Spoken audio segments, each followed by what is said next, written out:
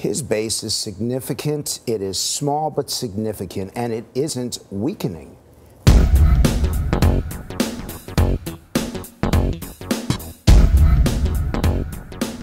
Republican strategist and CBS News contributor Frank Luntz spoke with Trump supporters about what they think of the president's performance. The group had 13 men and 7 women ranging in age from 20 to 63. All of them voted for Mr. Trump in November. Their opinions of the president range from somewhat unfavorable to extremely favorable. Did the Russians intervene in this election? No, I mean, they didn't get into the voting machines and change votes. It wouldn't have made any difference one way or the other. Um, now, did they try to hack the election? We found out from the leaker, uh, that woman, that yes, they did, but they weren't successful. Should we be investigating this? Yeah, but not for the It's purpose already of, been investigated. So you think we're done? There's nothing more to learn?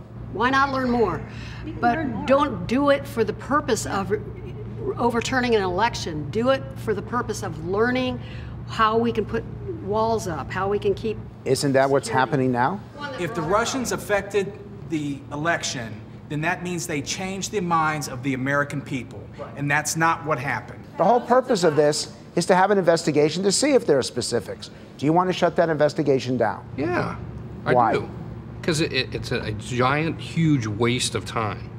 If if there's an investigation into this whole Russian thing, then it needs to be on. Well, they physically went into our machines, hacked our machines, this whole hacking thing, and actually changed the election results. People read fake stuff on Facebook, Twitter, Instagram all day. Anybody could put that up. I could put it up. You could put it up. Okay, so he's had, we're now in the middle of June. I want you to give me one word or phrase to describe Donald Trump. Now that we have some idea of who he is, give me a word or phrase to describe Donald Trump. I'd say honest. Determined. Effective, True. strong, Productive. Tough SOB. Very authentic. How many of you in this room love the tweeting? You think it's really appropriate for a president to do that? It could be better. Yeah. It, it could be better. He needs to tone down the language a little bit, but the bottom line is it's his way to get the message out. I would argue that Donald Trump shouldn't tone it down.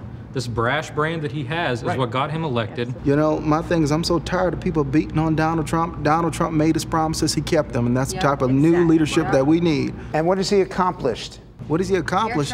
He's done more in the last hundred days than President Obama done in the last eight years, Such as? Such as keeping his promises. I want to know what promises he kept. One thing, one promise I can say that he did keep is he elected a conservative to the Supreme Court, and you know what? That's the best promises that promise that he's kept so far. By this point, George W. Bush already had his tax cut done.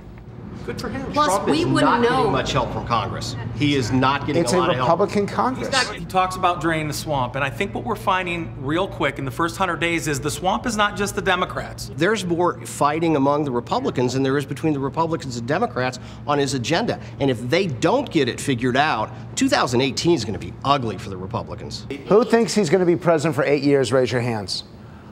Let's say he doesn't get health care. Let's say he doesn't get tax reform. Let's say he doesn't get the investment in infrastructure.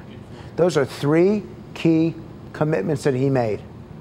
Who here would consider not voting for him in that situation? Raise your hands. So you're voting for him no matter what? No matter what. No matter what he does.